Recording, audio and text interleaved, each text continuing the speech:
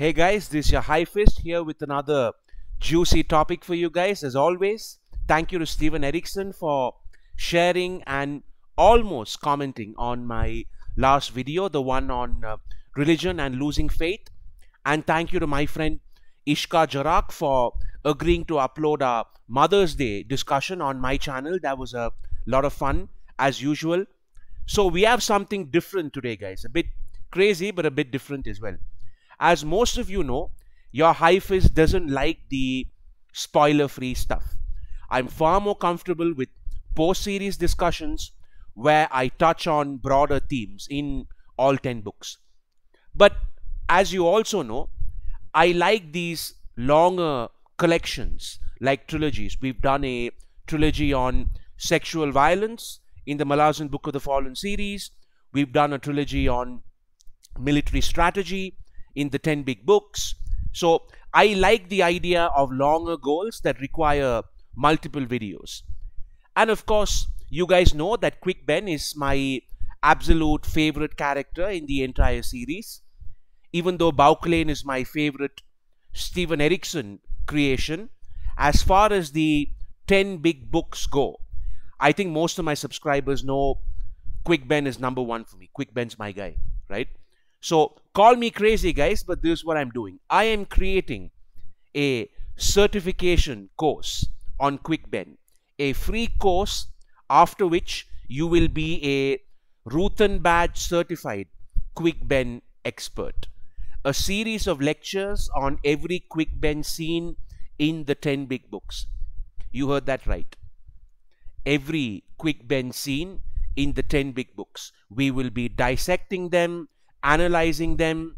We will look at why he's a great character, how Steven Erikson uses him in the plot, the narrative layers surrounding him, the way he outwits his opponents, his impressive use of magic, blah, blah, blah. Right? You get the gist. So, this is what I'm planning the course structure to be like.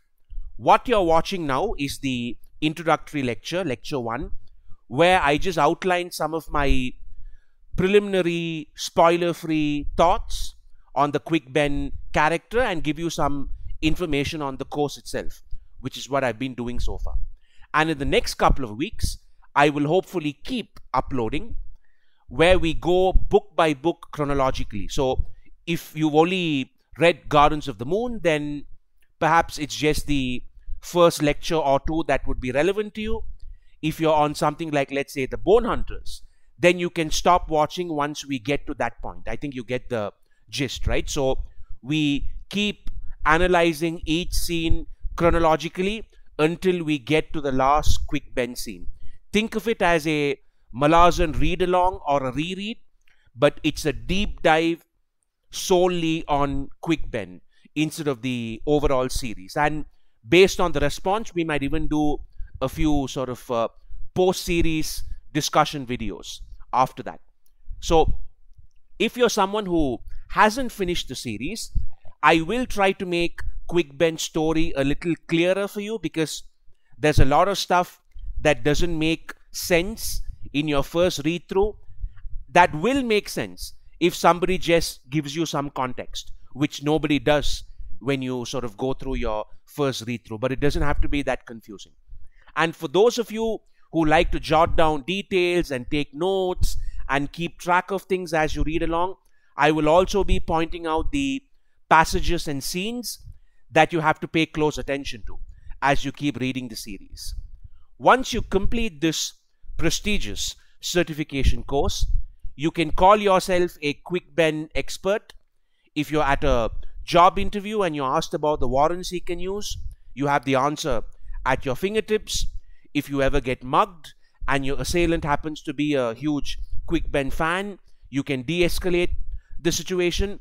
Or if you're just sort of, you know, looking to make a, a living in the lucrative quick ben industry, this course will be life-changing for you, right? Because I am the Thomas Edison of the quick ben industry. Erikson, Erikson's just Tesla, right? While I am Edison. And since this course is completely free, you also have a money back guarantee if you're not satisfied with the the quality of the faculty of the one man faculty right? So with all that said, let's get this series of lectures started. Spoiler-free thoughts on Quick Ben. He is one of the top fan favorites in the Malazan fandom. You actually don't get too much discussion about him in the sort of academic, intellectual discussions about the series, the way that you might with uh, Tavor or Felisin or Anomander Rake or maybe even Karsa Orlong because these are all characters who are used to explore thematic and emotional issues. While with Quick Ben, it's a lot more about fun. He's an extremely fun, entertaining character to read. Not only is he a character who likes to have fun himself, he's always up to mischief. He's always scheming.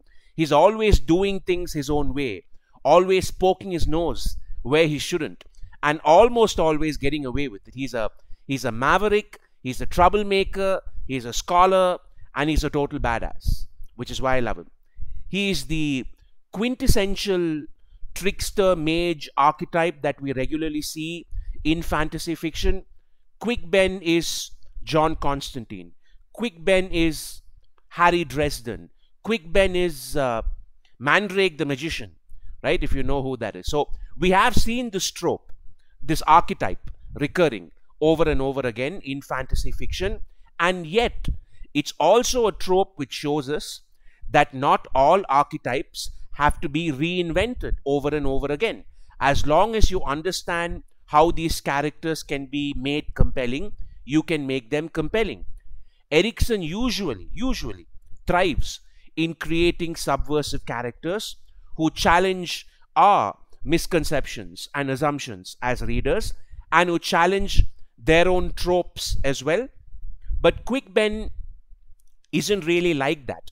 Quick Ben, as I was saying, he's not so much a subversive character as he's just a really entertaining and mysterious character in the old fashioned way. Uh, he's a great example for why a character doesn't have to be subversive to be interesting. It just seems like these days many writers simply assume that they've got to reinvent the wheel over and over again and that everything's got to be a subversion, everything's got to be a, a critique of the system, everything's got to be some overcomplicated, oh, but I actually meant this, I was actually trying to deconstruct this, that kind of nonsense. But with Quick Ben, thankfully, we don't get that.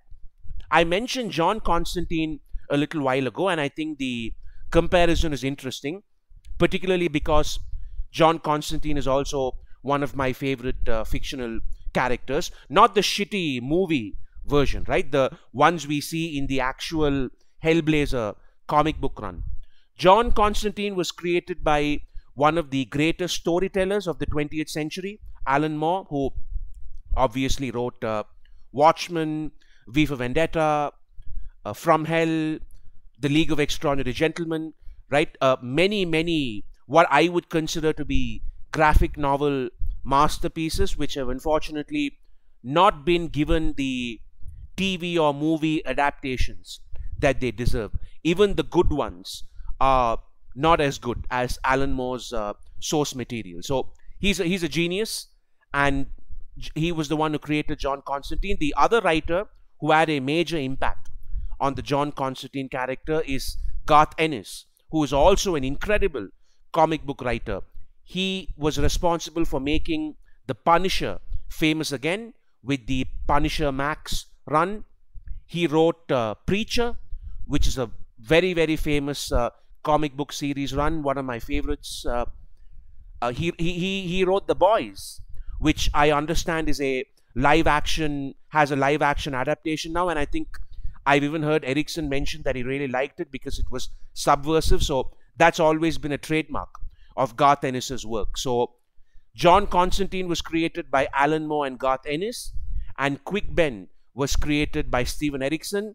And these are both great examples of mage archetypes who are interesting simply because they are interesting, not because the writers were trying to, as I was saying, reinvent the wheel while while doing it. If you're if you're a John Constantine fan, you will be a Quick Ben fan, and vice versa. Let's look at Quick Ben himself, right? Let's look at some of the defining features. Why do I call him a trickster mage archetype. He's extremely powerful in terms of his magical abilities, but his it's his capacity to think outside the box that which serves as his real weapon. He's the master of magic, yes, but it's the inventive and creative ways in which he applies his mastery of magic which makes the character special. He's an extremely quick thinker. The reason he's called Quick Ben isn't because he's physically swift, it's because he's mentally quick. He's regarded with total suspicion even by his own friends, and rightfully so. And the most important trait of Quick Ben, which is what makes me makes him my favorite character, is that much like John Constantine, we constantly see him go up against enemies who are way, way stronger than him, enemies who could crush him like an insect, but he still manages to hold his own and outwit them. I just love that. The major difference, I guess, between the John Constantine Quick Ben characters is that Alan Moore and Garth Ennis give Constantine a kind of sense of fatalism and self-destruction, where that's a recurring theme whenever you read the Hellblazer comic books. Whereas with Quick Ben, Erikson takes a completely different route, which is he goes with mystery and enigma, right? Uh, and that's the other thing we'll try to unpack here. There are two types of people in the world people with enigma in their lives and people whose entire lives are an enigma. Quick Ben belongs to the latter category. And throughout the books, he is just freaking people out. It's not just us as readers who get sucked into the sense of mystery, this quick Ben vortex. Even the characters in the books do that. People constantly go, dude, who the fuck are you? Who, how do you know this, right? Even really, really powerful mages, ancient beings, elder gods, they always constantly go, who are you? And he pretends not to like it, but he does. Deep down inside, he does. He loves being the man of mystery. And he's always doing things which confirm that persona to the people around him. And as we follow him more and more, we see that there's a certain ego and pride behind it as well. There are some mysterious characters in fiction who are mysterious to the people around them, but to us readers, they're quite clear because we see their internal thinking and monologues and stuff like that. Conversely, there are some mysterious characters who are mysterious to us as the readers, but they're quite plain to the people around them because the characters around them exist in the same fictional universe. This guy is an extreme on both ends. Not only are we as the readers constantly wondering who he is, so is everyone else. So are the other characters who inhabit this fictional universe with him, including his own friends. Even his close confidants are often like, Yeah, we don't know much about you. We have no idea what your deal is. This sense of mystery allows Erikson to use Quick Ben as a device for many different things. Firstly, Quick Ben is a key to I wouldn't say the debate between hard magic and soft magic, but the kind of dynamic between it. I'm not going to rehash the whole hard magic versus soft magic thing here. The point is that I don't think you can have a quick ben type character with a hard magic system. Or rather, you can, but it would just suck the life out of the character. If we had a hard magic system where every time Quick Ben did something, we would need sort of pages of exposition to fit what he was doing within an established system of framework. That would just ruin things, right? Because he's always pulling a rabbit out of the hat. That's his style. And it simply wouldn't be as entertaining if it had to fit into a fixed structure. This, of course, doesn't mean that he just solves his problems by waving a magic wand and lo and behold, the, the, the problem's over. No, Erikson never abuses that with Quick Ben. There's always a lot of intelligence in his schemes. And almost always we appreciate his quick thinking and the knowledge required to do what he does. And this leads us to another interesting role that uh, Quick Ben plays in the series, which is always keeping us off balance in terms of how the power levels work. So I'm a big fan of power levels, hypothetical discussions about who would win if character X and character Y were to fight or who's more powerful than whom, right? I just like stuff like that. It's it's probably the anime and comic book fan in me which draws me to that.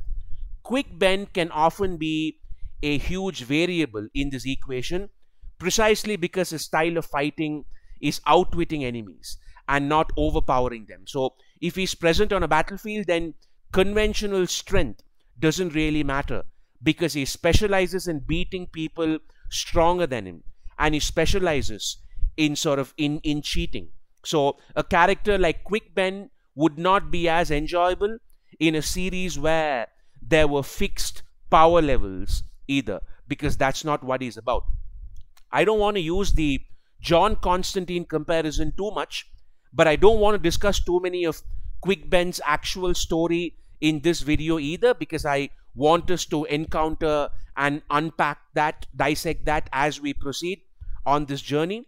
So I just want to give you a quick uh, John Constantine parallel for me to get my point across about this power level and outwitting stronger enemies things, right? One of the most famous John Constantine stories involves him going up against one of the most powerful entities in the universe. And John defeats this creature with nothing but beer. Beer? Yes. So the, the, the creature in question in that story is Satan, right? John comes face to face with Satan and just as it looks like Satan's about to win the day, John convinces him to have a toast with a mere mortal, with a beer. And Satan drinks it, knowing that no poison or venom or whatever would uh, would work on him anyway. I mean, he's Satan. Come on. And then, after they've had the toast, Constantine reveals that it was actually holy water that was used to create the beer.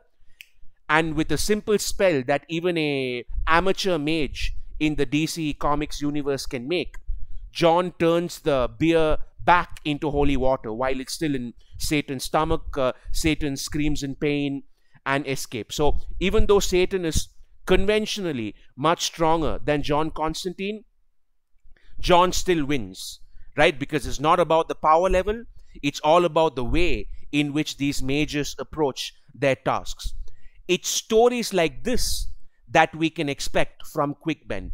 He is at his best when he's doing this kind of David and Goliath deal where there's a massive power gap and yet he keeps figuring out ways in which his, not, his magical knowledge and his quick thinking can sort of uh, work their uh, work their magic, so to speak, no pun intended.